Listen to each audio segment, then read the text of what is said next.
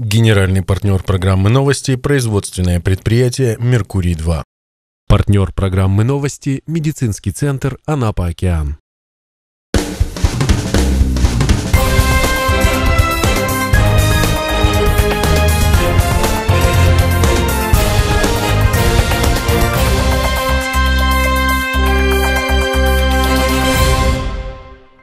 В эфире новости Анапа регион. Я Кристина Рабина. Здравствуйте. Итак, смотрите сегодня в выпуске. При 65% рентабельности есть большой смысл заниматься садоводством. Анапским садоводам предлагают увеличить площади. Поддержка на краевом уровне будет. Вы здесь живете? Да. Здесь прописаны? Да. Ага. А вы? Показать все, что скрыто. В Анапе выявляют нелегальных мигрантов. Итоги одного рейда. Если мы то же самое уберем свой двор, то потом у нас пойдут уже и э, выше, и цели. Лучшая среди равных анапская студентка прославилась хорошими делами и получила поддержку от губернатора.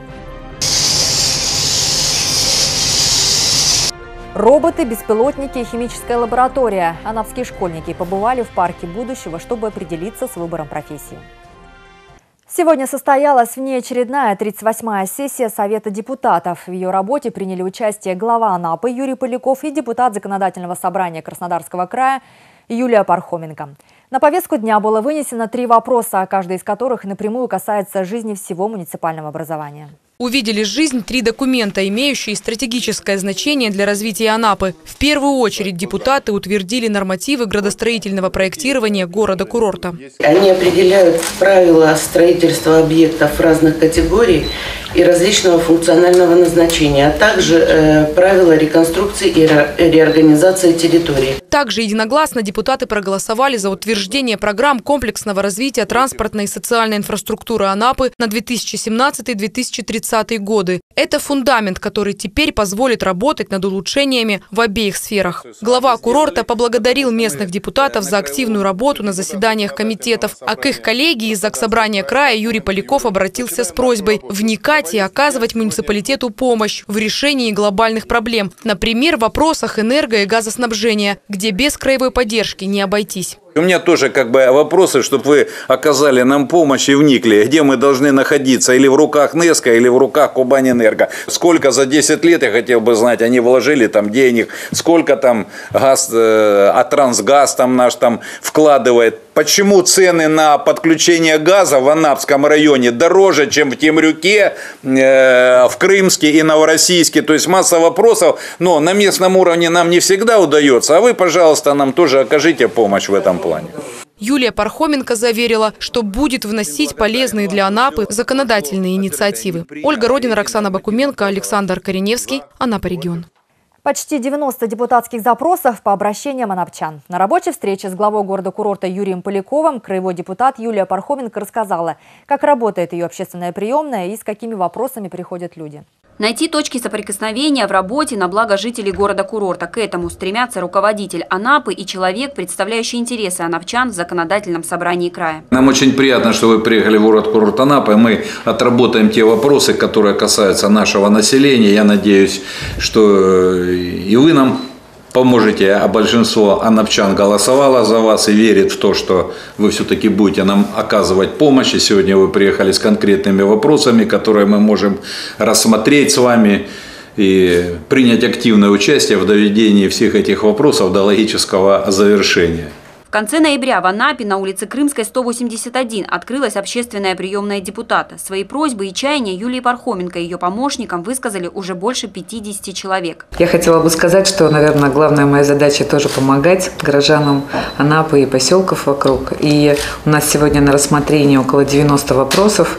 Я знаю, что мы много делаем запросов на муниципалитет. И большое спасибо за те ответы, которые приходят. Наш адрес, они дают возможность нам двигаться дальше. Мы все те вопросы, которые вы задаете вместе с жителями Анапы, мы ставим себе на контроль, на выполнение. То есть в любом понимании этого вопроса мы вместе с вами все равно добьемся положительных результатов. И вот э, мне нравится то предложение, которое вы вносите рассмотреть в части программ, как краевых, так и федеральных.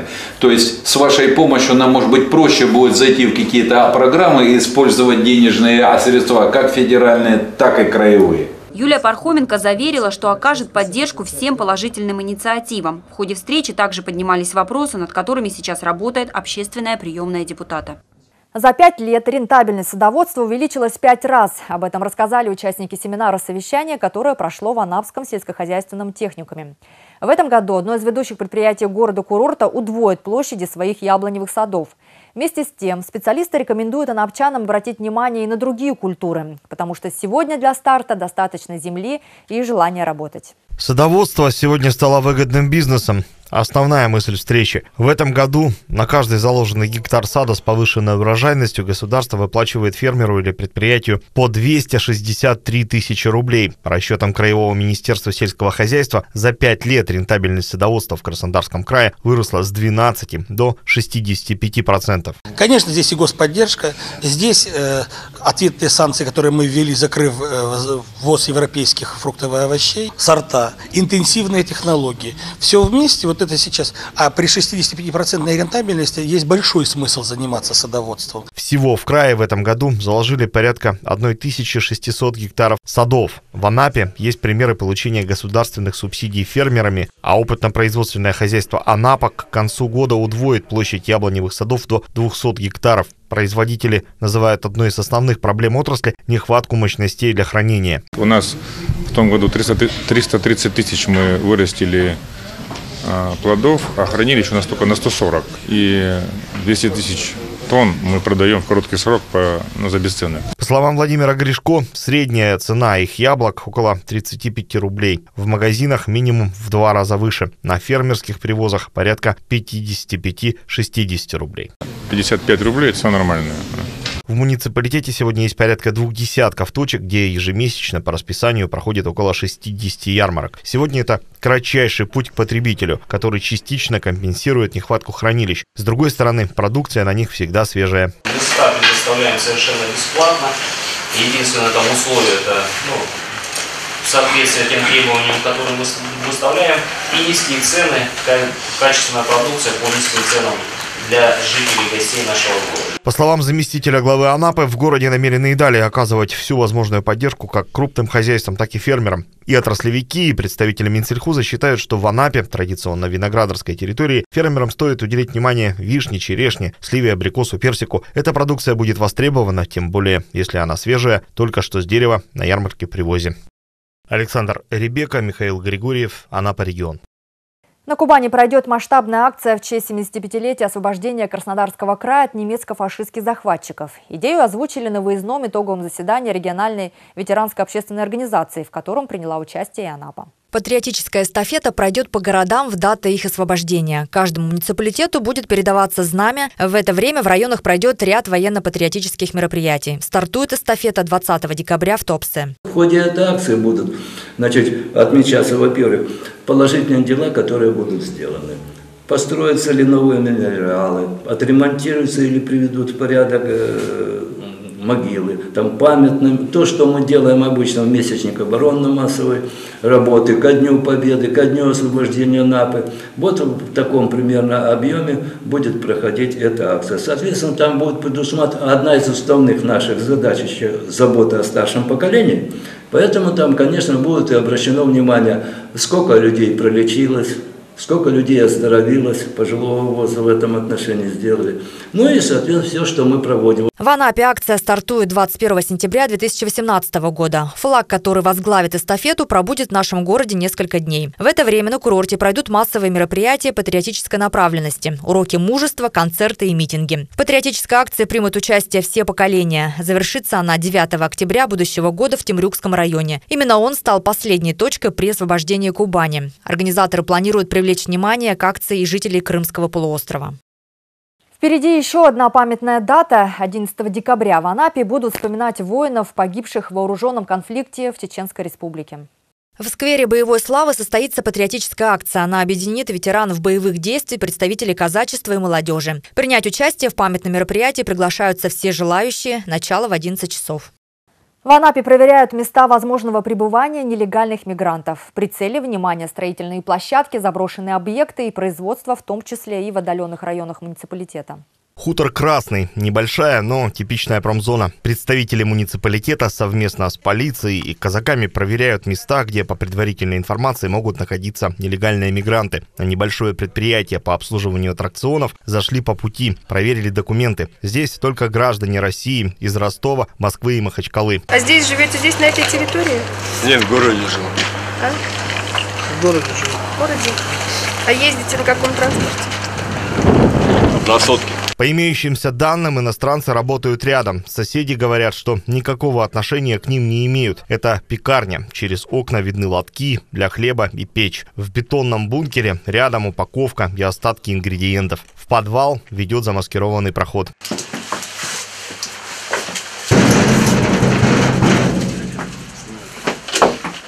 Дверь закрыта. Каких-либо юридических оснований для проникновения в помещение у проверяющих нет. Аналогичная ситуация с еще одной пекарней. В целом все выглядит как небольшой семейный бизнес. Подъехали к вашей, к вашей пекарне подъехали. Мы, конечно, туда никак попасть не можем. Скажите, пожалуйста, когда у вас люди работают? Я позавчера.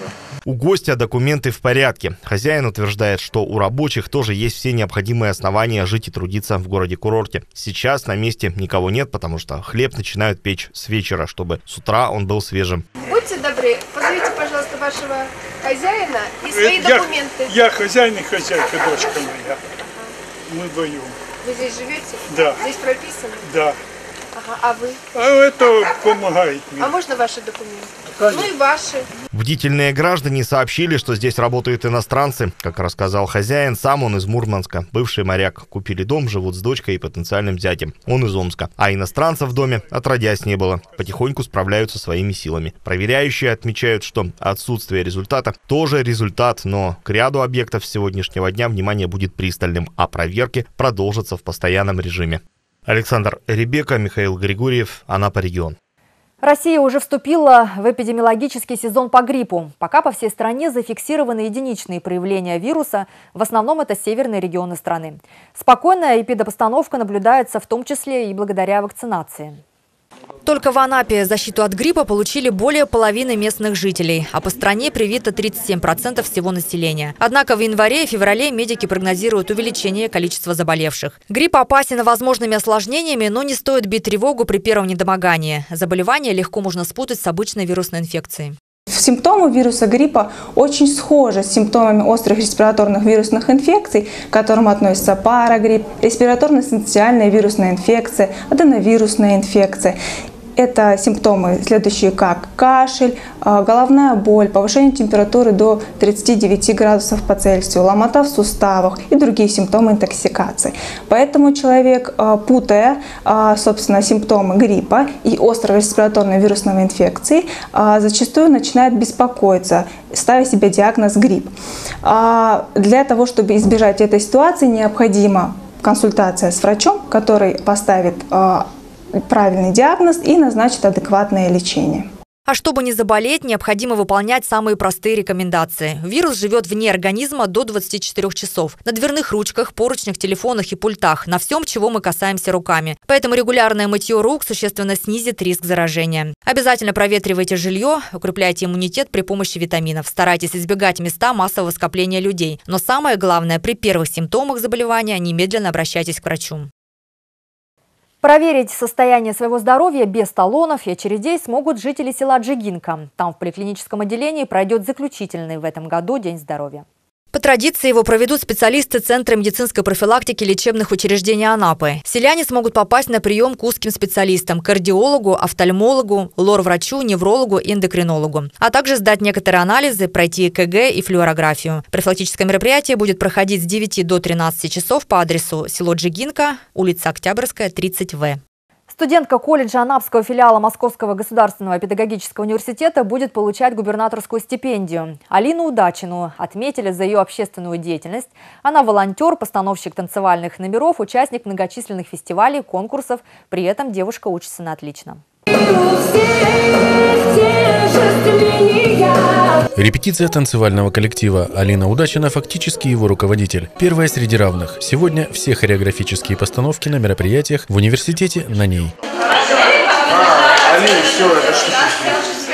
Спустя час еще одно мероприятие – занятия с волонтерами. В учебном заведении готовят новогодние праздники для детей, которым требуется повышенное внимание, а также благотворительную распродажу поделок. Помимо этого, девушка возглавляет городской студенческий совет, активно участвует в благотворительных патриотических акциях. Все начинается с самого маленького. То есть если мы то же самое уберем свой двор, то потом у нас пойдут уже и выше, и масштабнее цели, то есть, может быть, убрать нашу большую площадь или в парке пойти убраться. И так мы сделаем намного лучше своей стране, принесем какую-то пользу своему городу, а потом уже и масштабно можно запустить какую-то акцию большую и так мы поможем своей стране. Для нас Алина это палочка-выручалочка, потому что без Алины не проходит ни одно мероприятие. Она энергична, она добрая, она ответственная, она все, она готова быть везде и во всем. Уже через месяц после поступления в колледж Алина организовала крупное мероприятие. На сегодня таких уже 23, начиная от Дня первокурсника, заканчивая фотоконкурсами и флешмобами. В них приняли участие более тысячи человек. Девушка сама участвует в фестивалях, круглых столах. При всем этом учится на отлично и получает повышенную стипендию. Она делает ровно столько, сколько может делать. Стараюсь правильно расположить свой порядок дня, записывать, если вдруг куда-то нужно пойти или что-то сделать, это очень сильно помогает. За успехи в общественной деятельности Алина удостоена губернаторской стипендии. Девушка рада, преподаватели ею гордятся. Уже в следующем учебном году Алина будет сама преподавать в начальных классах, но общественную деятельность пока оставлять не планирует, считая ее важной частью своей жизни. Никита Бойко, Александр Ребека, Михаил Григорьев, Анапа регион. Экскурсию по парку будущего для детей из школы номер 20 села Варваровка организовал Всероссийский детский центр «Смена». На его базе располагается крупнейший учебно-тренировочный центр профессионального мастерства и популяризации престижа рабочих профессий. Девятиклассники смогли не только познакомиться со множеством рабочих специальностей, но и попробовать их на практике. Во время экскурсии ребятам представляют практикоориентированную профориентационную программу по наиболее востребованным рабочим и инженерным профессиям. Мобильная робототехника, прототипирование, управление беспилотными летательными аппаратами, лабораторный химический анализ. Всем этим и многим другим компетенциям можно обучиться в парке будущего. Это промежуточное звено между проектированием и запуском, как я сказал, серийное производство. Э, здесь мы учим детей э, в специальных программах делать модель прототипа, и потом этот прототип печатается на 3D э, принтерах с помощью специального пластика. После экскурсии ребята проходят профориентационный тест и участвуют в одном из восьми мастер-классов по выбору. Во время мастер-класса теория переходит в практику, и уже каждый может сам поуправлять беспилотником, провести анализ водопроводной воды на жесткость, сделать новогоднюю открытку из природных материалов или устроить соревнования роботов.